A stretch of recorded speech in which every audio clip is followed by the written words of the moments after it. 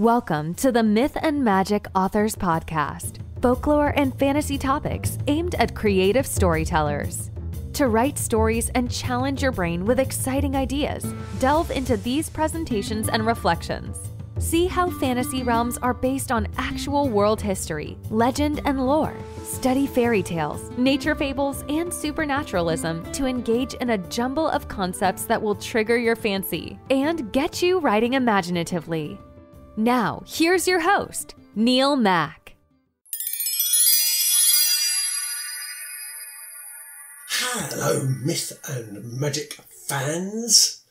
So, just 10 days to go before Christmas, and um, continuing on my theme of Christmas connected myth and magic ideas. What do you think the most beautiful castle in Europe is?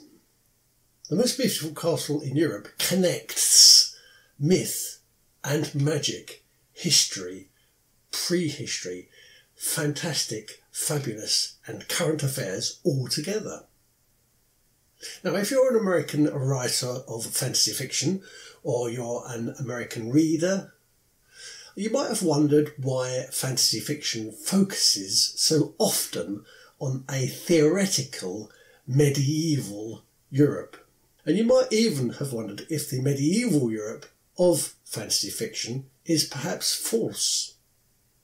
And to be fair, it seems that the Disneyfication of our memory hasn't helped much to disentangle the truth from the fiction. And we know that at least half of Disney's most beloved films have been set in a speculative fantasy medieval Europe. And this includes even recent films. So Brave is set in Scotland, Frozen is set in Norway or Sweden, Maleficent is set in England, of course, the much loved Sleeping Beauty and Cinderella are both set in Germany. Beauty and the Beast is set in France. The Little Mermaid, although it should have been set in Denmark, was set in Switzerland. And even one of the most iconic structures in the Disney universe, the Cinderella Castle, is based on an existing royal castle. And I would like to contend to you today that this castle, Cinderella's castle, is the most beautiful castle in Europe. But I warn you that you may not like what I'm about to, ta- to say next, especially if you consider yourself to be a rationalist. So here's the warning. Be ready for what I'm going to say next. It would be a mistake to assume that the Europe of fantasy writers and the Europe of Disney is imaginary or counterfactual. Because it's not. Because it's real. Yes. It's wonderfully, perhaps even hauntingly real. It's Fantasyland. And I live in it. Now, I know that you may well be saying, I don't believe you. And I've told you this before, and it's worth repeating. I live in an absolute monarchy, and I've covered that term before in a previous show. I live in an absolute monarchy, and I live only a couple of miles from where a real life queen sits in a tower inside a thousand year old castle. Just get that into your head to start with. This queen, this real live old queen, she keeps a golden ship near my place which she uses occasionally to row down the River Thames near my hometown. And that river, by the way, is named after a very ancient, almost buried in the mists of time water god called Themisis. Her home, this castle I'm talking about, which is also a palace, sits atop a mighty mound, and this mound provides supernatural energy to her and her family. And the castle she lives in is only one of several castles that she uses. And if she takes one of her usual rides, using uh, one of her fleet of carriages and horse and carriages through the local town of Eton, then this queen will see schoolboys dressed in towel coats who attend a school that looks more like Hogwarts than anything you could ever imagine, and I guarantee it. And this is all now in December 2020, as I speak. What I want you to understand is we Europeans coexist with our history in a way that establishes a special fusional relationship between fables and myths and our real and current world. To try to understand this, I would like you to try to guess how many castles you think there are in Great Britain. Go ahead, I dare you. How many castles do we have in this mighty realm? Now, we know the Queen lives in one of them, and we've also covered the fact that she's got several others scattered around the place. How many do you think there are? How many castles do us Brits pass on our way to school, or our way to work, or our way to the shops, or our way to the offices? Can you guess how many castles there are in Britain? Well, if you can, you're clever because nobody actually knows for sure. That's how many we've got. Historians still quarrel about it, and they kind of settle at a figure of around about 1,500 castles. The Principality of Wales itself has the highest number of castles per square mile in the world. It has over 500 castles in such a small country. And that makes Wales the epicentre of castles in Europe. But Germany has the most castles of any country in the world.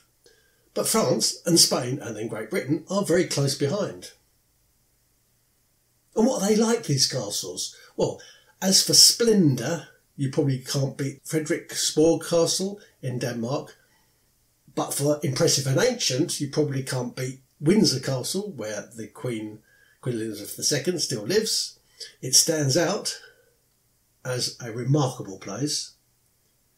But for magic and mystery and darkness, what about the HM Tower of London? Now that's one hell of a castle.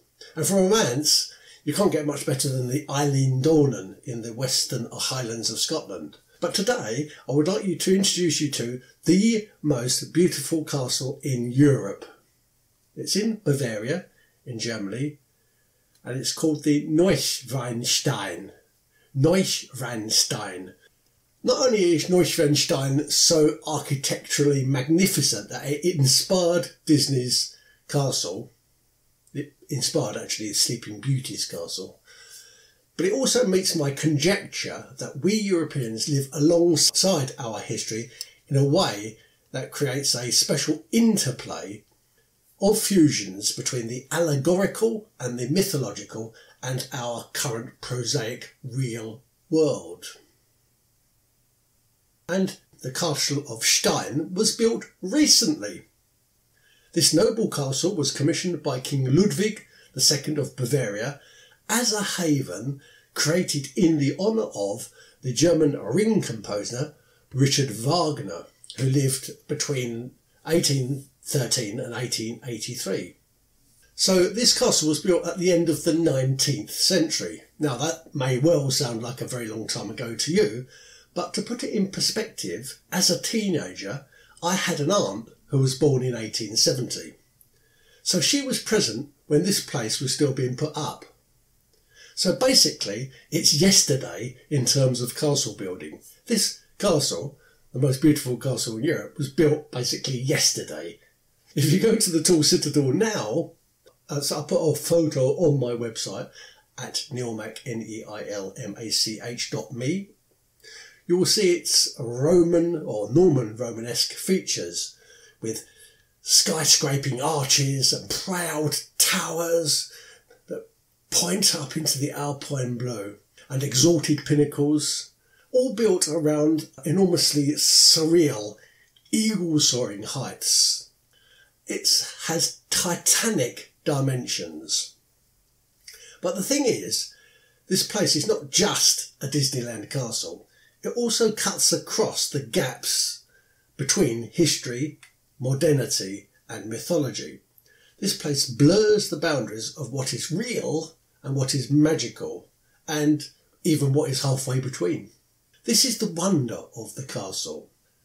Sadly, although it was a glorious tribute to Richard Wagner, the ring composer, he never actually visited Neuschwanstein. and much of the castle remains unfinished, although it looks finished on the outside, I admit it, inside it's only half built. But if Richard Wagner had ever visited, he would have seen a performance hall where his operas would have been sung, and he might also have visited the famous Venus Grotto. Now, this is a cave. It looks like a real cave, but it's artificial. It has stalactites, and it's located on the third floor. And this cave is inspired by the legend of Tannhauser, who was a mythical knight who supposedly found Venusberg. And Venusberg is the underground home of Venus. So, in other words, this mythical knight visited the other world of classical legend. And inside the castle is a replica of the Venus Grotto. Now, so get your head around that. Inside a castle, which was only created at the end of the 19th century, is a replica grotto that goes all the way back to the Venus of Rome and the Aphrodite of Greece. Now, upon, retiring to this uh, grotto, visitors, if you go there today, you can do this, you can still move around in this uh, liminal darkness and you can see for yourself that you can travel from one dimension to another. I don't say that easily, but it is magic because if there's singing going on in the concert hall, which is situated right above the grotto, and that singing is most likely going to be Wagner, and it most likely will be some kind of mythological story that they're singing, and you're standing in a grotto, it links you with times gone. So this castle connects fable and legend with modern life. And if you wanted to prove that link any further and further still, there's a link between history, prehistory and legend. What about the fact that looted artworks stolen by the Nazis during World War II were stored here at Neuschwanstein? Hitler planned to open an art gallery in the castle after the war was won. And he had collected several rare, several magical, and several powerful symbols. Luckily, uh, after the Allied victory, the United States troops discovered 21,000 stolen items hidden inside the castle. They found altarpieces from churches, private jewellery taken from prominent Jewish families, and vast amounts of furniture. So much loot was found inside the castle that they're still, to this day, cataloguing it. And like I say, the castle is linked backwards and forwards in time. It's not the only castle, for example, that was located here. Schwanstein Castle was here long before the place we see now, but that was demolished to make way for the Disneyland Towers. And that castle, Schwanstein, sat upon the remains of an earlier one, and that one on the remains of an earlier one still, and so forth. In fact, this area was settled in Roman times, and they probably put their own fortress on top of a existing prehistoric mound. The area later became a favourite summer resort for prince bishops, and this astonishing place links St Magnus of Füssen with the winter nymphs of the Rhine Maiden and the Viking Valkyries and the dragon slayer Sigurd and, of course, the Roman goddess Venus. And all this was created in the mind, some say the mad mind, in the mind of a fantastical fairy tale king known as the Duke of Franconia, the Duke of Bavaria, Ludwig II. And Ludwig II was a direct descendant of a German Bavarian dynasty that ruled Holland, Germany, Sweden, Romania, Bohemia, Hungary, Denmark, Norway, Greece, and the whole Holy Roman Empire, and gave rise to the Royal House of Windsor. Thus, the current British royal family, Queen Elizabeth II and her heirs, the family which reigns over Britain from Windsor Castle now, are connected to the castle of Neuschwanstein. His throne and his castle connects all these things together. It has associations with magical treasures, it has associations with precious holy relics, holy swords, the loot of the Nazis, the royal families of Europe, and the oldest beliefs which go back to Vikings and before that to Celts and to Iron Age people and to Romans and to Greeks. Yes, you can go and visit it today, and yes, it was built in my great aunt's lifetime. And that's why I personally think it's the most beautiful castle in the world. Now, if you want to learn more about um, the Nazi loot um, and hiding it in Neuschwanstein, then I recommend you watch The Monuments Men, which is a film uh, 2014 starring George Clooney. And if you have um, any other comments or you'd like to make your own uh, suggestions for what you think is the most beautiful castle in Europe or in fact the world, let me know. Tweet me at Neilmach, N-E-I-L-M-A-C-H, all one word. Oh, grandmother, what big eyes you've got. Continuing my little pre-Christmas study into fairy tales that have a connection with this uh, very mysterious and magical time of the year, I wanted to look into the timeless story that's told by Brothers Grimm, but in particular by Charles Perrault.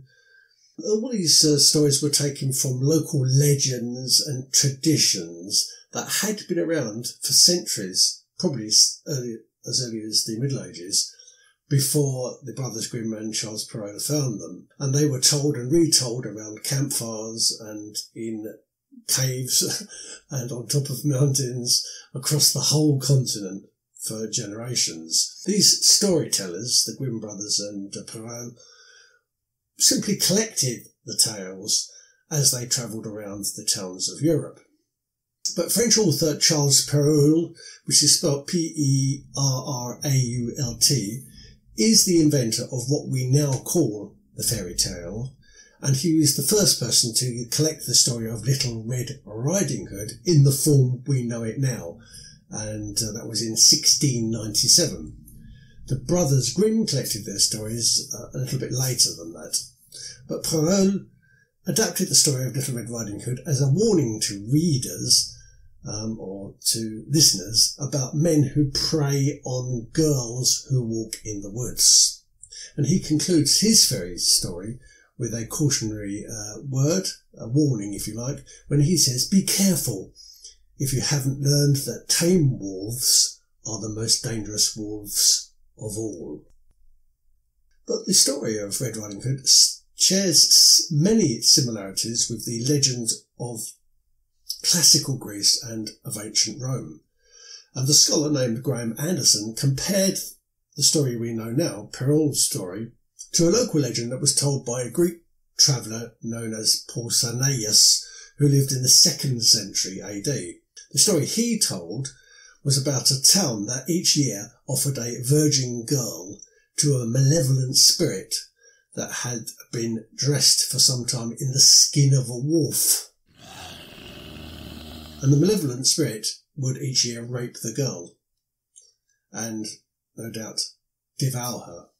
But fortunately, on this occasion, uh, the hero, Euthymios, arrived. He killed the spirit, stole the wolf pelt, and married the girl. And there was a happy ending. The girl in this much older tale was called Pyrrha, P-Y-R-R-H-A, which means fire or red fire and the malevolent spirit was called Lycos or Wolf. And the dialogue between the big bad wolf and the little Red Riding Hood that we all know so well has analogies um, with the ancient Norse tale of when the gods dressed Thor as a bride. Can you imagine that? This huge Viking dressed as a bride after a giant had stole his hammer and then has then demanded that they hand over a virgin bride as a reward for its safe return. So Thor arrived at the giant's um, castle dressed as this virgin bride, but the giant was wary, and the reason the giant was wary is because the bride who was presented to him had huge unladylike eyes, massively wide mouth, and had a desire to eat all the food and glug all the drink in the castle. So he wasn't a particularly convincing uh, virgin bride. Anyway, I'll leave you to find out what happened in the rest of the story. But the theme of a rapacious wolf and a creature that's released unscathed from its belly is also reflected in the Russian tale of Peter and the Wolf, and of course it has similarities to the biblical story of Jonah and the whale. The story could also be superimposed on the story of St. Margaret of Antioch, who was swallowed up by Satan, although Satan in the story took a dragon form, but she later emerged alive from its belly. Now it's worth noting that early variations of the tale used a werewolf rather than a real wolf as an antagonist. And the red, the symbolic red in this story, the red of the hood, could be a symbol of the natural solar cycles. This is possibly why we do think about this story at this time of the year, because the red hood could represent the sun as it is finally swallowed by the terrible night and the terrible darkness, the wolf at around Christmas time. And yet she is cut from the belly of the wolf to represent sunrise and the emergence of the light that enters the world after the winter solstice to start a new year, to start a new life, a life of light. So although this symbolism is pagan, it can also be translated into a Christian meaning. And the tale can also be interpreted as a puberty rite. The girl leaves the house, she enters a liminal state because she's going through the processes of puberty. She goes through the various acts in the story and transforms into an adult woman and returns to her new existence as a woman when she emerges from the wolf's stomach. And this is possibly why the red symbolism is also in the story. Now, if you've got any other comments about Red Riding Hood or any of the uh, fairy tales, let me know. Tweet me at NeilMach. And if you want to learn more about the state of liminality, I do go into, into quite a lot of detail in my new non-fiction book, which is titled So You Want to Write Fantasy, and it's out now. But otherwise, keep in touch, keep safe, think about what you're going to do this Christmas. I suggest you uh, do not edit that book if you have been uh, writing a book during NaNoWriMo. Make sure you leave it until January or February to edit it. But enjoy yourself and stay in touch. And I'll see you next week.